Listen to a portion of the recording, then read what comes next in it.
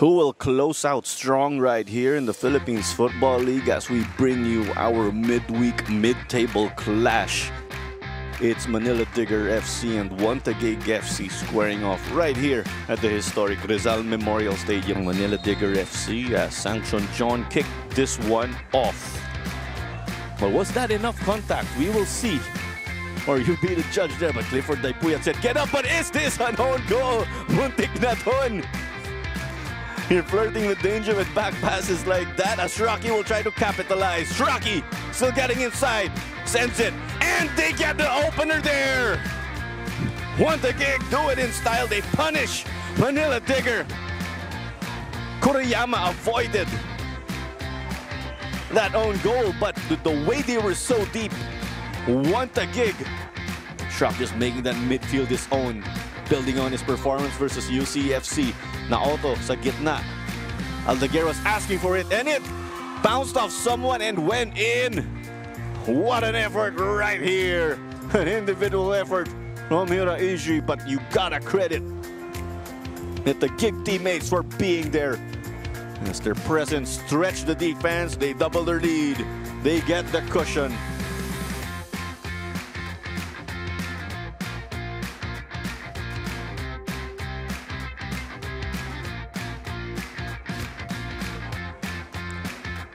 As the ball's still here now in the danger zone. Across. And it is no good right here. So close for Custodio in disbelief. Shraki. Right side this time. The clearance went to Nano. Nano to Tuason! But it came off the post from the looks of it. Tuason had an angle. He'll, he'll try to keep it that way as it's Tuason with a barley on him. There's Cristal to support Mahmoud Ali supporting in the attack. And it looks like it's another denial here from the keeper. A close one here for the right back.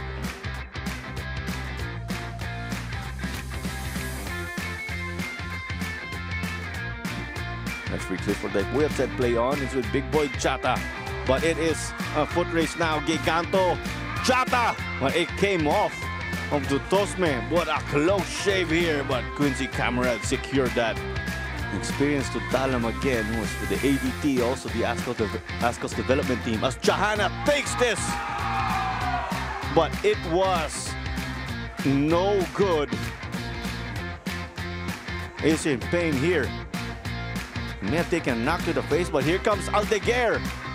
He got past the keeper, but he lost his angle. Izu, but it came off. A defender. It appears to be Parsanilia. Aldeguer is also down. Same goes for Taher. Sheen that needs them a little exposed at the back. That's why they're opting here for Tuason. And that's why Izu has space now. Janmar Parsanilia. It's still Izu. Izu. And it is the dagger. Izu El Habib. Turn back the clock. Let's look at it again right here. Naiwan si Shin earlier, that's why kulang sila sa depensa and Izu El Habib sent it into the back.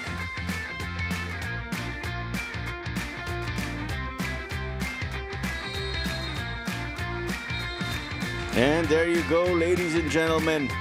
It is the full-time whistle from referee Clifford Daipuyat.